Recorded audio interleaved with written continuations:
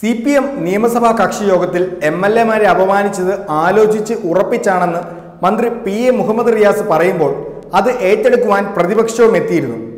അപ്പോൾ നിയമസഭയിൽ റിയാസ് പറഞ്ഞതിന്റെ രാഷ്ട്രീയം കോൺഗ്രസിന് അന്ന് മനസ്സിലായിരുന്നില്ല. പിന്നീട് സി പി എം നിയമസഭാ കക്ഷിയോഗത്തിലെ ചർച്ച വാർത്തയായപ്പോഴാണ് കോൺഗ്രസിന് ബോധം വന്നത്. ഏതായാലും ഈ വിമർശനത്തിൽ C P എമ്മിനുള്ളിൽ Thalassery M L A N Shamseer ഒറ്റപ്പെടുകയാണ്. സഭയിൽ അവകാശ ലംഘനത്തിന് പ്രതിപക്ഷം നൽകിയ നോട്ടീസിനോട് ഷംസീർ എങ്ങനെ പ്രതികരിക്കുമെന്നതാണ് ഇനി നിർണായകമാകുന്നത്. സർക്കാരിന്റെ ഊർജസ്വലതയ്ക്ക് മങ്ങലേൽപ്പിക്കാനുള്ള ചില മാധ്യമങ്ങളുടെ ഉദ്ദേശം മനസ്സിലാകുമെന്നായിരുന്നു വിവാദം സംബന്ധിച്ച ചോദ്യങ്ങൾക്ക് C P M acting secretary A വിജയരാഘവന്റെ മറുപടി. പാർട്ടിയുടെ പൊതുനിലപാട് ഷംസീറിന് മനസ്സിലായിട്ടില്ലേ എന്ന് ചോദിച്ചപ്പോൾ പാർലമെന്ററി പാർട്ടി യോഗത്തിൽ താൻ പങ്കെടുത്തില്ല എന്നായിരുന്നു മറുപടി. വിജയരാഘവന്റെ പ്രസ്താവന സി സംസ്ഥാന സെക്രട്ടേറിയറ്റ് യോഗത്തിലെ ചർച്ചകളുടെ അടിസ്ഥാനത്തിലാണ്. പ്രതിപക്ഷം പോലും ആ പ്രസ്താവനയോട് വിയോജിപ്പ് പറയാതിരിക്കെ നിയമസഭാ കക്ഷി യോഗത്തിലെ ഷംസീറിന്റെ എതിർപ്പ് പ്രശ്നാധിഷ്ഠിതമല്ല എന്ന് കരുതുന്നവരുമുണ്ട്. ഡിവൈഎഫ്ഐയിലും നിയമസഭയിലും സീനിയറായ ഷംസീർ മന്ത്രിസഭയിലെത്താൻ സാധ്യത ഉണ്ടെന്ന് കരുതിയിരിക്കുകയാണ് കോഴിക്കോട്ട് നിന്ന് റിയാസ് ഇടം പിടിച്ചത്. റിയാസിന്റെ ശൈലിയോട് യോജിക്കാത്ത ചില എം എൽ എമാരുടെ വികാരമാണ് ഷംസീറിലൂടെ പുറത്തു വരുന്നതെന്ന് കരുതുന്നവരുമുണ്ട്. മുഖ്യമന്ത്രി പിണറായി വിജയന്റെ മകളുടെ ഭർത്താവാണ് റിയാസ്. ഇതിനൊപ്പം ഡിവൈഎഫ്ഐയുടെ അഖിലേന്ത്യാ പ്രസിഡന്റും.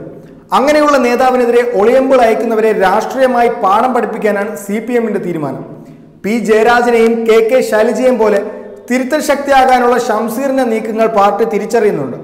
അടുത്ത സംസ്ഥാന സമിതി യോഗം ഈ വിഷയം ചർച്ച ചെയ്യും. ഷംസീറിനെ ശാസിക്കാനും സാധ്യത ഏറെയാണ്. കൈവിട്ട കളികൾ കളിക്കരുതെന്ന മുന്നറിയിപ്പും നൽകും. ശാസന പരസ്യമാക്കാനും സാധ്യതയുണ്ട്. പാർട്ടി തീരുമാനപ്രകാരമാണ് കരാറുകാരെ സംബന്ധിച്ച് കാര്യങ്ങൾ പറഞ്ഞതും പറഞ്ഞതെല്ലാം ആലോചിച്ച് ഉറപ്പിച്ചാണെന്നും മന്ത്രി പി എ മുഹമ്മദ് റിയാസ് വ്യക്തമാക്കിയിരുന്നു. ഉറക്കത്തിൽ പറഞ്ഞതല്ല അതുകൊണ്ട് തന്നെ ഖേദം പ്രകടിപ്പിച്ചിട്ടുമില്ല. എല്ലാ കരാറുകാരും ഉദ്യോഗസ്ഥരും ഒരുപോലെയാണെന്നല്ല പക്ഷെ ചിലർ തമ്മിൽ അവിശുദ്ധ കൂട്ടുകെട്ടുണ്ട് എന്നത് സത്യമാണ്. ഇത് സി എ ജി റിപ്പോർട്ടിലും പരാമർശിച്ചിട്ടുണ്ട്. ആരെങ്കിലും തോണ്ടിയാൽ അങ്ങ് നിന്ന് പോകാവുന്നതല്ല വകുപ്പിന്റെ പ്രവർത്തനം. കരാറുകാരുമായി ഇടപെടുമ്പോൾ അവർ ആരാണ് എന്ന് അന്വേഷിക്കുന്നത് സ്വാഭാവികമാണ്. അതിൽ ഭരണകക്ഷി എം എൽ എമാർ എതിർപ്പ് പ്രകടിപ്പിക്കുമെന്ന് കരുതുന്നില്ലെന്നും റിയാസ് പറഞ്ഞു. സി പി എം നിയമസഭാ കക്ഷി യോഗത്തിൽ മന്ത്രിമാരുടെ ഓഫീസിനെതിരെ K V Sumesh M L എയും പരാതി ഉന്നയിച്ചിരുന്നു. പാർട്ടി സെക്രട്ടേറിയറ്റിൽ നിന്നും കെ രാധാകൃഷ്ണനും ടി പി രാമകൃഷ്ണനും യോഗത്തിൽ പങ്കെടുത്തിരുന്നു.